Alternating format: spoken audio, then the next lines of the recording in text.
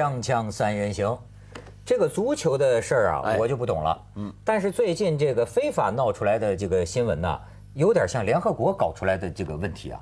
哦什么这个这个这个看啊，没有竞争对手的布拉特独孤求败，还听说是什么基辛格都出动当他的什么顾问，这对，什么情况？因为不是说老说他贪腐吗？说这个机构，那布拉特他本人过去就有很多传闻，不过这都没证实。但起码这个机构的贪腐，这早就有人写过好多本书了，说里面一大堆问题。嗯，那么结果这回呢，不是正式的被揭发出那些的，呃，他的委员们在电邮里面说谁谁谁想买这个，呃，没那么容易，都在直接谈买卖。这个揭发出来了嘛？那大家攻击他，那结果他再度连任当了主席，因为这个东西就像他家的，我跟你讲，跟联合国不一样。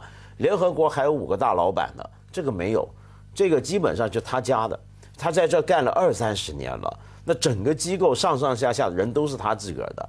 那现在被人挑战，他就要找一个有公信力或者很多人以为有公信力的人，比如说基辛格，嗯，找来干嘛呢？他说请基辛格帮他制定一套方法跟策略，让这个 FIFA 以后呢少一点这个贪腐的情况。啊，哎，徐老师怎么看？我有两个奇怪的想法。我第一个想法就是，我觉得足球呢，主要是因为它原来这套制度啊，嗯，没法做广告，所以足球比赛，你比方跟跟其他的现在一些美国的大运动，比方说，比方橄榄球啊，或者是呃棒球啊，或者是冰球啊，这这些运动来比，包括 NBA，嗯，他们有一套。很好的商业设置，就在制定比赛规则的时候，已经把那些商业利益全部考虑进去了。嗯，而足球呢，开开始出现的时候，并没有那么大的商业利益，所以现在你看，足球最大的问题是它没法砸。现在广告已经用足脑筋了，在背后闪啊闪啊什么，嗯但是它的比赛是不能中断的。可是这个所以，个但是现在盘又做的这么大，因为它在它整个欧洲是最大的运动，嗯，全世界它牵涉的金额是最大，一个球队等于界最大人家这个，对对不对？足球是最大，所以我觉得这这些，尤其到了第三世界这些国家，这个他们又有投票权，嗯，这个怎么么？可是这个只不过是他规则不改而已嘛。就是说，当然我们都很喜欢足球，不要中断。那这点它很纯粹，你不像美国篮球啊，篮球的规则原来不像 NBA 这样，这是可以中断那么多次的。嗯你看 NBA 它几秒又暂停一下，几秒又暂停一下，这个规矩怎么来的呢？恰恰是因为 NBA 当时要做电视转播，要卖给电视台做广告，它是为了广告跟商业利益改变了你整个比赛的游戏规则。对美国的那些运动是这样，橄榄球就更加对是，橄榄球更厉害，但足球不同。足球始终很坚持了一种的，就是说我原来怎么打对对，现在还怎么打。那么，但是呢，FIFA 这个问题跟足球有什么关系呢？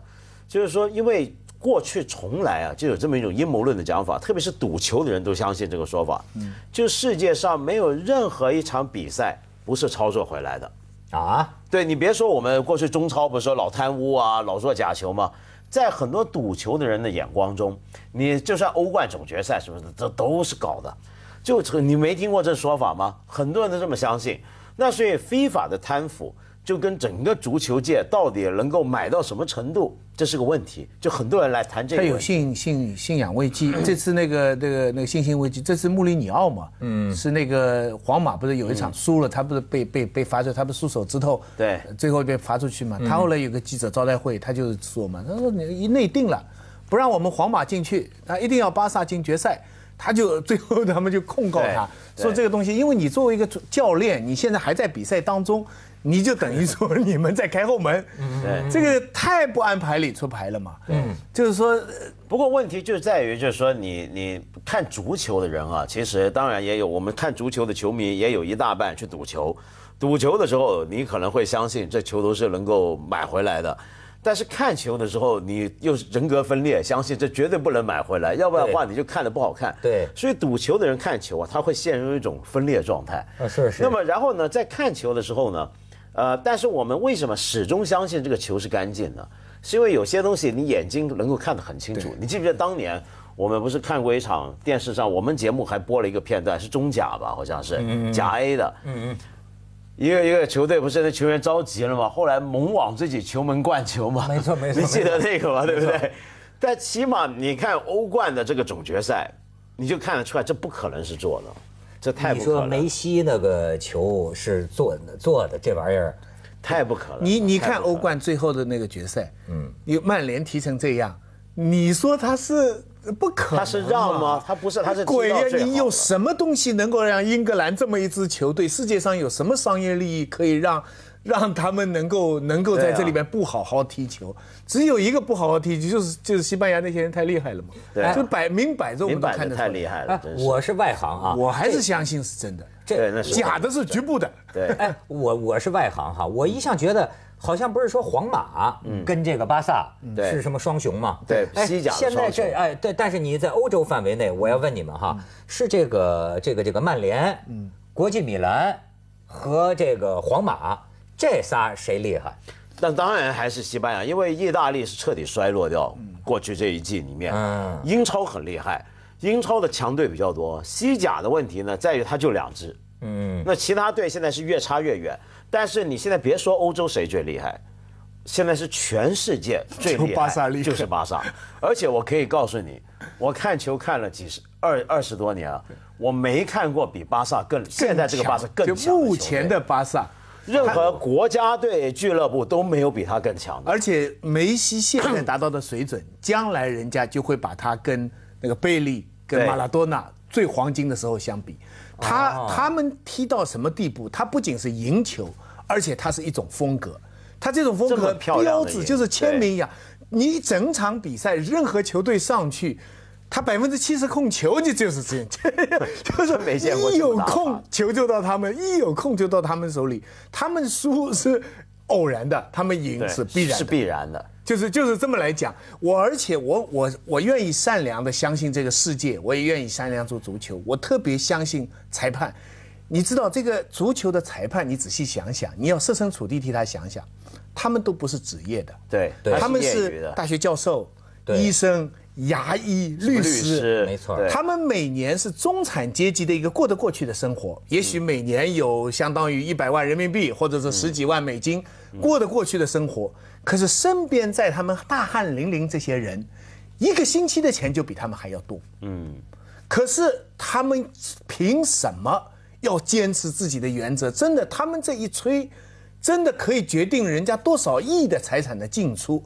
所以当然很多人怀疑，赌球的人怀疑也都有道理，也不能排除没有。但是我总的觉得，我相信这个背后只有一个职业道德，就只有一个天理，就是一个新教徒家，就人在做天在看，才能驱使他在绝大部分的时候，我拿了这一点钱，你们每个人都比我多钱，可是我还要坚持一个，我觉得基本上我还是相信。对，不过一般来讲啊，这个球裁判啊，到底会不会搞假啊？这个取决于一个文化。这这什么文化？比如说一般来讲，比如说意大利是搞假球最厉害的。嗯，那意大利为什么搞假球最厉害呢？是因为裁判太重要。就是说，你一个球赛里面，一个联赛里面，一个国家，你裁判太越重要，他越可能出问题。为什么意大利裁判那么重要呢？是因为意大利的联赛的踢法，使得裁判一个判决影响就非常非常大。所以你到别的国家，你去意大利 旅游，你仔细看体育版啊，意大利的报纸的体育版有个全世界都没有的一个专栏，每一个报纸都有，就是什么呢？我们全世界的体育报、体育版都会讲说这球踢的怎么样，这个球星多牛讲这些。意大利呢是每一张报纸都有个专栏，讲今天的裁判表现怎么样，哎哦，评裁判评裁判。哎，他为什么以前踢过什么球？什么时候给过人家点球？他不给你一他看这个，为什么？因为裁判太重要。那裁判那么重要，于是就是你表示说这个国家的球队啊，这个他们踢球的时候很容易出问题。哎，那咱报纸也可以弄一个这个什么黑哨排行榜、光光荣榜什么的。对，可以啊，是吧不过话说回来，谁没踢假球就啊就就登光荣榜。但我呃回回头讲那天那个比赛啊，就真的是原来大家都还以为曼联跟巴萨能够拼一下，结果就拼了十分钟，拼了十分钟，那真是太凄惨了。就虽然我非常不喜欢曼联，因为我是阿森纳球迷，抱歉，这传统敌对啊，啊，但是呢。你你你也觉得这是英超最强吗？那怎么对上巴萨会踢到这个地步？你真的是觉得现在全世界，我觉得所有的教练都在想这个问题。你对上巴萨怎么办？但是好像前十分钟还是有点效。能现在，现在就十分钟嘛。但是能不呃，曼联之所以踢不过他，就是光明正大。对，能踢败巴萨，就是像穆里尼奥去年用国际米兰那种那种方法就是我铁桶，我就难看，我就用。呃，用皇马希腊得欧国欧洲国家杯的方法，对对对对对，皇马今年差点快成功。皇马本来是一个进攻非常犀利的球队，他对着巴萨活生生的打铁桶死守，差一点就成功了。但是那个你知道很难看，有点丢人。对我觉得你知道，你你皇马是个是个什么阵容？你想想看，这是亿万富豪这俱乐部，对不对？C 罗这帮人，穆里尼奥是多大牌的一个教练要用出这种对上了是当年希腊，你看希腊拿过欧洲国家杯冠军，但希腊当年那个欧洲国家杯冠军是怎么拿的呢？就是这个打法，他等于是对上所有比他的队员值钱五六倍的人，他用铁桶阵。你用这么豪华的阵容去打一个希腊的打法，这不就有点有点丢人吗？那那个记者招待会上面他说这场比赛应该零比零。那个他有一个判断，他一说明他的战略定好了，就是死守，谁都不得分。这只能反衬对手的伟大呀，是吧？真的是锵锵三人行，广告之后见。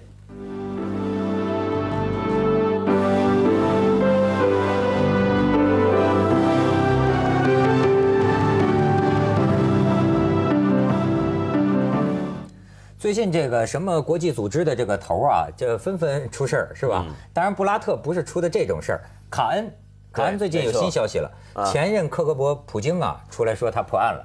说这玩意儿是美国这个阴谋，美国阴谋，什么美国国库给盗走了多少吨黄金，然后美国情报人员搞这个，美国情报人员就爱搞这个裙子上沾点什么这个这个什么，不是以。前他们总统干过嘛。对对对，哎对，就是说弄得我们卡恩，但但是你看现在在美国啊，还组织游行呢，这个这个美国很多的这个这个妇女啊，哦，这都是一些纽约的酒店侍应生，啊，酒店的清洁客房服务人员清洁工卡恩是吧？不是声援卡恩，这 shame on you，就是在谴责卡恩，你不要脸。啊，再看下边，哎，你看这个 这个宋鸿兵微博都哦，爆料。原来，这不是普丁爆，是 宋宋鸿兵爆料，这个我不就不相信了。卡卡恩啊，再看下边，嗯，哎，这个这这个说是卡恩，这不是卡恩的女友，这又说回足球了。啊。这是那个著名的吉格斯了，哦吉格斯的前任女友说是其中有一个，呃，最中间那个是他老婆，左边那个是他情妇，右边那个是他弟弟的老婆，弟媳呀，哎呦，对，弟媳都不放过。嗯嗯。嗯，哎，徐老师可以发挥一下，不过我是觉得吉格斯啊，那么当然大家都骂他，因为吉格斯前阵子大家才捧他嘛，因为他是你想想看，四十岁，嗯，这样一个年纪，他发挥的真的很好。他在曼他在曼联里面真的是没有第二人能够代替他的作用，他太重要了。但是问题是，居然搞出这样的事儿，那大家就觉得很丢人嘛。因为原来大家都认为他是好好先生嘛。嗯。那最最离谱的是他搞弟媳那个搞法，他不止搞弟媳，而且是他弟媳已经大肚子了，后来传出来是哦，七八个月了，他还在搞，天哪，那这个是搞得比较有点特别。他这是一种雅号了，对，哎呀，家伙。可是呢，我个人认为，从阿森纳球迷的角度来看吉格斯这个事儿，我觉得这绝对不是他人生最大的污点。他人生最大的污点是加入曼联。好了，我就说了，先说。好，哎，现现现现在徐老师发表评论，我还是喜欢曼联的。我觉得，我觉得这些球星是蛮可怜的。嗯，因为他们就像美国的 NBA 的球星一样，他们一下场就有很多女的喜欢他们。嗯，对不对？但是他们必须非常清洁，他们不像普通的人，他们一犯错马上被曝光，尤其是英国的报纸，整天追着他们，好痛苦啊！还不如做一个人，没人爱，没人疼，没人爱，那也就算了，你不必这么痛苦嘛，对不对？哎，但是但是没有听到过裁判有什么这一类的。裁判哪有女球员、女那么，球迷那么照理说，你把裁裁判？裁判对于比赛影响既然这么大，怎么事先就美啊把裁判搞定用美人计啊？对啊你说，，哎，这个我倒没听说。好像很少有这样的事情嘛哎，这就是刚才徐老师说的，他这个裁判他实际上更容易被腐蚀，是吧？对，而且裁判作用这么大，你你你这个运动员。这倒没听过。这次啊，你知道李娜的那个呃，还不是李娜，李娜那个对手的那个记者招待会哈，就有人提问，就说你这场比赛是不是被人偷走的？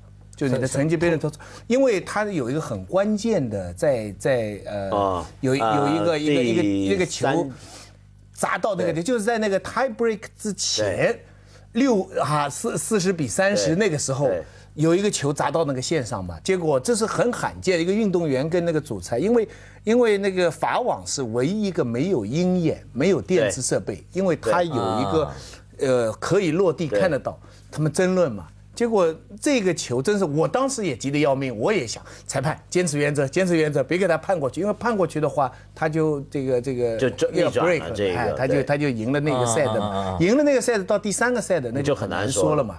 结果就问，不过那个对手还蛮好，他就说，呃，这个球是对，呃，我他坚信坚信那个意大利运动员哈，我坚信这个球是出界了，但是呢，说球对整个比赛的影响呢，不能这么说，因为李娜的确打得很好。那个记者还再追问一句，就是说，你这个之后你就连丢七分呢？是真的，是那个判罚以后他就连丢七分就输掉的。嗯，哎，结果他还是这么坚持，所以我觉得有时候有些事情就是说，你觉得冤哈，当事人你不抱怨哈，真是一种风度哈。就这个这个裁判，不过我心里是支持这个这个裁判，我觉得这个裁判判得好啊。对，但是这个球就是砸在线上说明啊，风度背后都是苍凉啊，一下连丢七分，实际心理状态，心里就人就是委屈嘛。锵锵三人行，广告之后见。